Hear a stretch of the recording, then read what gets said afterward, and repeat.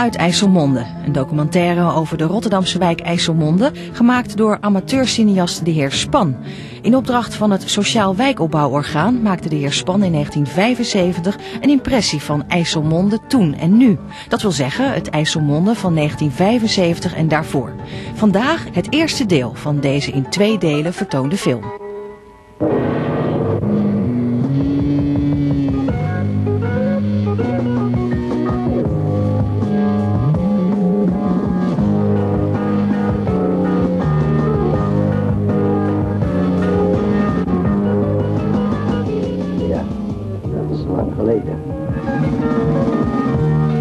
Ja, dat is zeker erg lang geleden.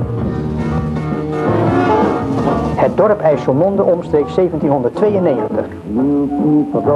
Met een gezicht op de Maas in die tijd. Keep going my way, river. Stay away from the door. Een heel contrast met de huidige scheepvaart. I just got a cabin.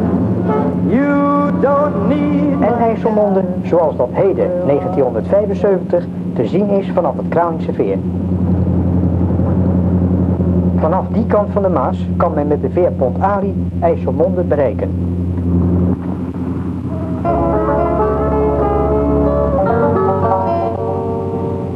Deze veerpont van de firma Vos, die dit in 1957 overnam, onderhoudt deze dienst. heen en weer.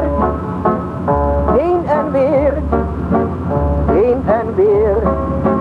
Heen en weer. Dit overzetveer is thans al meer dan 600 jaar oud. Dan steekt hij weer van wal. En ondertussen klinkt langs berg en dal mijn hoorngeschal. Heen en weer. Heen en weer. Heen en weer. Heen en weer. Heen en weer. De aanlegplaats van de veerboten, door de jaren heen de Veerdam genoemd. Het tegenwoordige IJsselmondense hoofd. Heen en weer. Heen en weer. Heen en weer. En zo was dat in 1920. Het postkantoor aan het hoofd ongeveer 1910.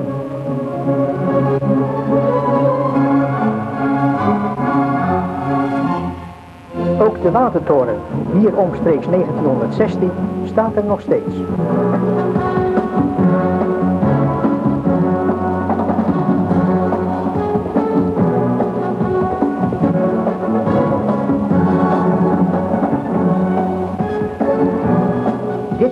Achter de watertoren, waarin thans een scheepsreparatiebedrijf, heeft als café Amicitia tot circa 1950 altijd een belangrijke plaats in IJsselmonde en daarbuiten ingenomen.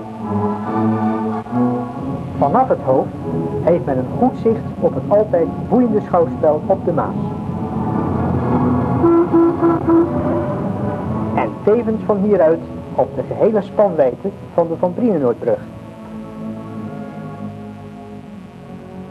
Door de bouw van deze brug met rotondes en aansluitende wegen, welke op 1 februari 1965 officieel werd geopend door onze vorstin, is het aspect van het oude IJsselmonde sterk gewijzigd.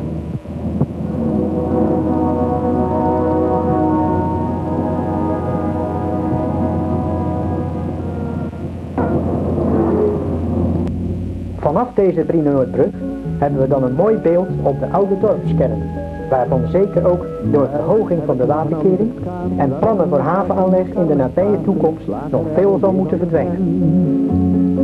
Een kroeg, een juffrouw de fiets, het zegt u ook.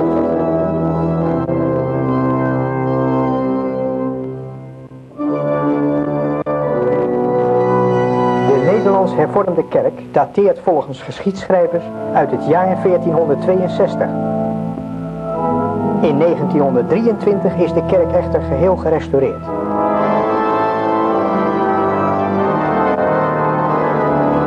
Op dit kaartje uit 1865 kunt u zien op welke plaats naast de kerk het kasteel van IJsselmonde heeft gestaan. Op deze plaats werden in 1972 de fundamenten van dit kasteel verwijderd in verband met de uitvoering van die deltawerken. Het fraaie kasteel van de familie Bichon dat in 1724 hun eigendom is geworden en sinds 1889 bewoond werd door ene C.J.A. Bichon, die het kasteel in 1900 ontruimd heeft en het liet afbreken.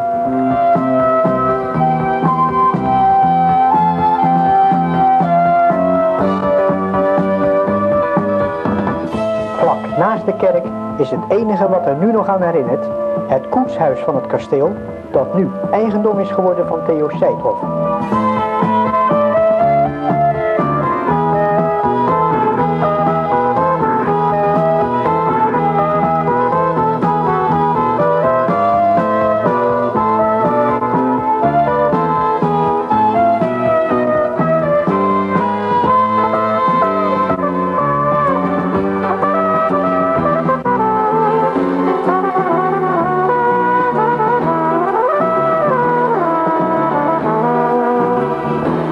Zeker wel een ander soort voertuig in gestald hebben gestaan dan dit koetswerk.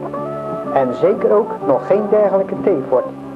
Zoals op deze aanzichtkaart van de Dorpstraat omstreeks 1930. Links op deze afbeelding, omstreeks 1910, het Bondscafé van Ene Sap.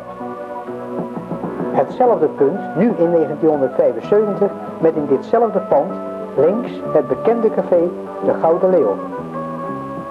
Wie door deze dorpstraat, de tegenwoordige Bovenstraat gaat en wie er oog voor heeft, zal zeker herinneringen uit lang vervlogen tijd ontdekken.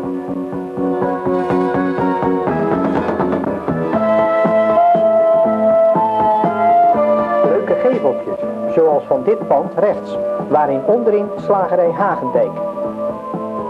Ook in 1917 was hier al een slagerswinkel gevestigd. Uit hetzelfde jaar een afbeelding met de voormalige burgemeesterswoning, tweede pand links. En anno 1975. Het voormalige gemeentehuis, dat begin 1974 al zodanig werd opgeheven. Hetzelfde gebeurde dit jaar met het er tegen aangebouwde politiebureau. Daarvoor in de plaats kwam in het najaar een splinternieuw politiebureau gereed aan het Kreekse plein.